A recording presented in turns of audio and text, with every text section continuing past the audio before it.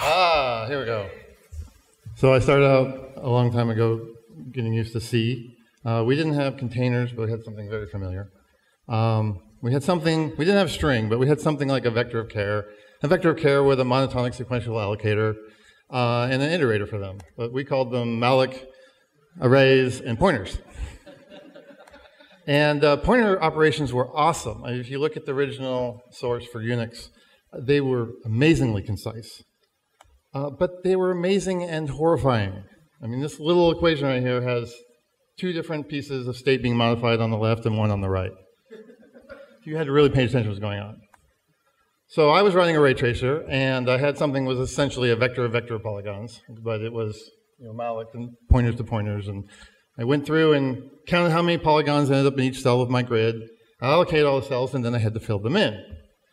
So the code did a whole bunch of three-dimensional math, scan converting the polygon, and at the end it needed to fill the polygon pointers into this data structure.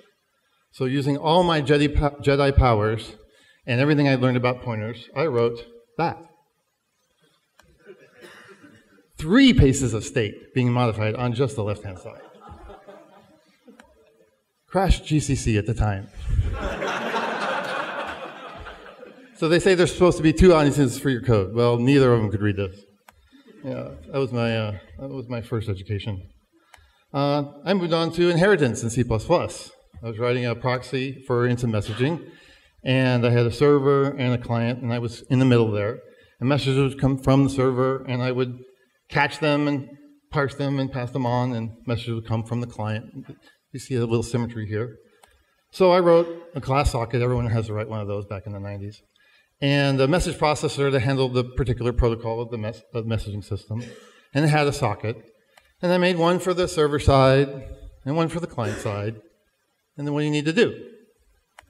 You need to hook them together. It works. but I don't recommend it. I was also needed to parse regular expressions. What's the best place to get Perl regular expressions? Well, we'll get them from Perl. We'll call them from C++. And, you know, C++ is great for managing resources, thanks to DRes, or you might know it as RAII. Um, there's a lot of ceremony. So we'll use a code generator and we can write that in Perl, and then we'll make a special, we'll show how smart we are by writing a special makefile rule. And so I had this makefile that turned CPPP files and turned them into CPP, right in the same directory as the original CPP files. Yeah, that was really cooking. now get the templates. It can only get better, right?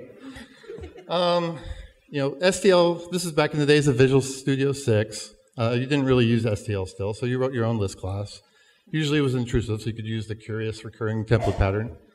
Um, and in, in, sort of the 98 style that you saw from STL, even though you couldn't use it, this didn't look anything like I was used to when using pointers in C. This, this, I would not call this concise.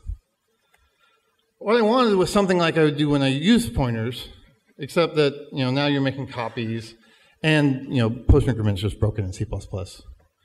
Um, you know, maybe if the language had gone a different way, we could declare a reference, but you can't assign references and you still can't post increment. So I thought about this and I thought about this and I thought outside the box and then I thought way outside the box. And then I thought like Alice in Wonderland style. And I just created my own definition of, of what pre-increment meant and created this entire alternate reality where you could beautifully describe what you wanted to do as long as you didn't know what pre-increment meant.